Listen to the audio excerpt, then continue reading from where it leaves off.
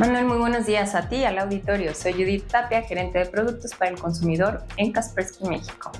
Hoy queremos hablarles de una amenaza invisible que resulta muy preocupante para Kaspersky, pues representa una de las formas de acoso digital que está afectando a miles de personas en el mundo.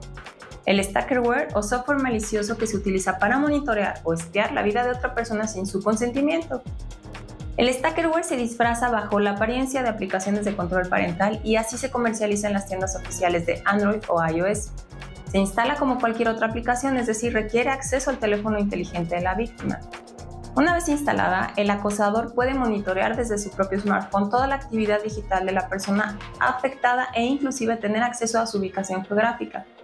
Todo esto sucede sin que él o ella sepa que está siendo monitoreado, por eso decimos que se trata de una amenaza invisible. Un reciente informe de Kaspersky revela que a nivel mundial México está en el noveno lugar de países afectados por stackerware y ocupa el segundo sitio en América Latina tan solo después de Brasil. Este estudio nos indica que 23% de los mexicanos ha sido víctima de stackerware, de ellos 24% son mujeres y 21% son hombres, y en ambos casos fueron espiados por parejas o exparejas. Toda forma de acoso digital atenta contra la privacidad de las personas, en especial el stackerware que lamentablemente está asociado a casos de violencia doméstica.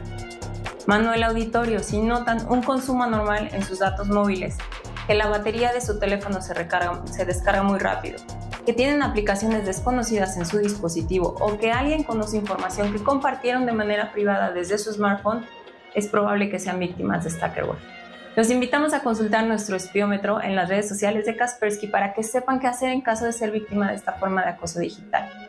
Muchas gracias Manuel y regresamos contigo al estudio.